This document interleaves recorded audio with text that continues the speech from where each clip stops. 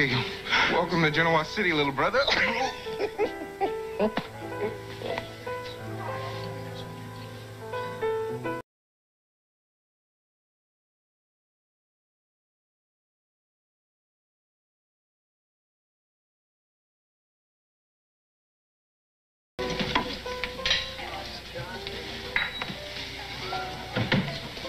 Pardon me. Um, Jazz, right? Yes. I was um, in here a couple weeks back with Amy Lewis. Leo, I'd like you to meet Jazz um, Jackson. He's a friend of Amy Lewis's. Jazz, how are you? Uh, you uh, know Amy? I sure do. Now, that's one fine lady. So, um, what can I get you? No, I gotta keep a clear head today, so uh, I just have some coffee. Okay. So, what kind of work are you in? Business? Uh, actually, I um, work with uh, Paul Williams and Andy Richards. No kidding. You a detective? You're out on uh, one of those cases, huh? Yeah, I guess you could say that. Uh, I, I hear that tell that you uh, have some rooms upstairs that you rent out. Yes, I do. Well, um, I would like to rent one for you from the summer. Um, my brother is coming in from New York tonight, and uh, he's gonna need a place to stay. Sure that can be arranged. Thanks.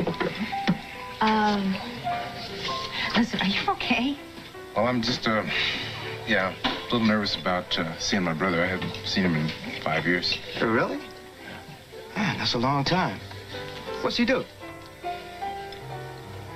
Only the top student at Columbia Law School. Hey, no wonder you haven't seen him. That is terrific.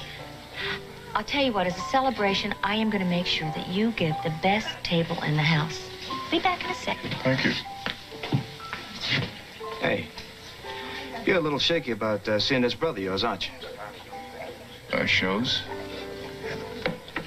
Hey, man, why don't you just relax, okay? Relax.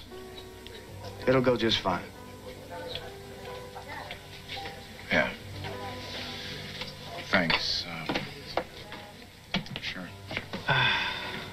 You are something else. so are you. So are you. I can't believe I'm sitting here. Yeah, it's been a long time, little brother.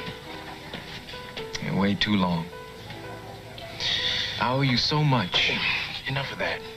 You don't owe me nothing. I mean, look at you. Phi Beta Kappa. Oh, Editor of the Law Review. cut it out. Oh, man. You, think I don't know what those things mean. Well, now, none of it would have happened without your help. None of it. Look, um, we're the only family. One of us had to be a superstar. Well, now, you don't look like you're doing so bad in that department yourself. I know what it takes to bankroll a kid brother through college and law school. You must have a heck of a job. Yeah, I, uh, sure did. Did? Yeah, I uh, took a break from the business world. You know, get into something else. Oh, yeah? Well, what's that? A couple of buddies of mine, they have a detective agency. I work for them.